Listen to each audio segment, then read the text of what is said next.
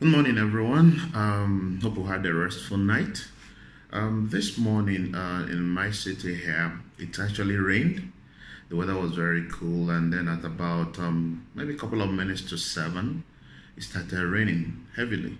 And then I was supposed to have a meeting with some of my um, partners that I am working with, that I am mentoring on how to build and become the right individuals for what we are working towards. And something amazing and worthy of learning something out of happened. Now, the meeting was meant to start at 8, and at um, a couple of minutes before 8, a few of um, a few of them came in, and then um, one of them, in fact, two of them really drenched in in, in, in the rain, and then a couple of minutes after, some few came.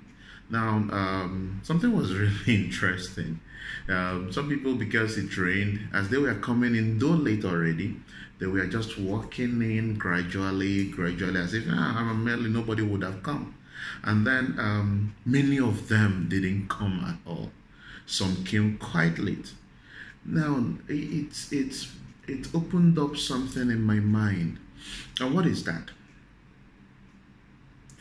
People often want to achieve success in things they do, but they've not been able to create the right attitude towards what they want to achieve. Now, someone last week in a similar meeting was um, late and he was asked, Why were you late? And he said, It rained. And someone asked him, If you were asked to come and collect 20,000 naira, would you have um, missed it because of the rain? He said, No, no, no, no, I wouldn't miss it. I'll come collect the money. Now, what does this show us? Immediate gain, what he can see immediately, he was up for it.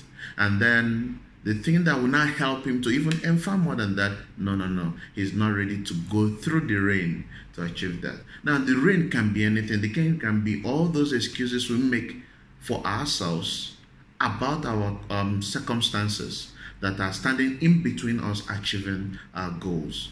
Now, there is no successful person I know, I have met, that doesn't apply concrete discipline towards the activities that generate results for him or her.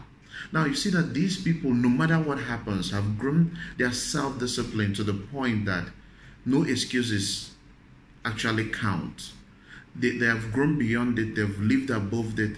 Above it, they are they are living above their excuses already. The things that happen to other people still happen to them, but they still find a way to do what they are supposed to do. They still find a way. They still find that conviction. What drives them is not from the external motivation they get. They have created a motive, a reason for taking the action or the set of actions that no form of excuse stands in between them and achieving their goals. Now, if you are looking at creating success in the field of entrepreneurship, you have to learn to live above excuses. You have to learn to grow that personal discipline, that self discipline, that no matter what happens, I am going to do what I have made up my mind to do. This is more like speaking to the man in the mirror and saying, Hey, guy, enough is enough. It's time to buckle down and then get to exactly those things I am meant to do. I am supposed to do whenever I am supposed to do them.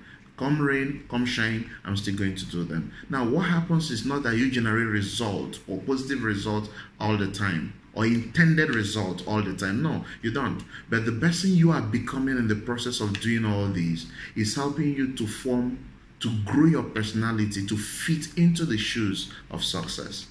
So, my message for us today is this create a motive for building into entrepreneurship that will be bigger than any excuse. Live above excuses. Grow into that person that is ready for the success that you seek. And with consistency, doing the right things that will help you to achieve success. It's just a step or some steps away.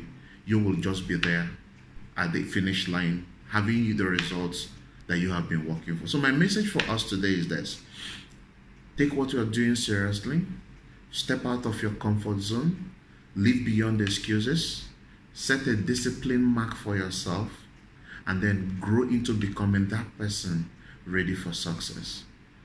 I believe someone got value today, and I will see you um, sometime again, maybe tomorrow. Do have a great day. Yeah, bye.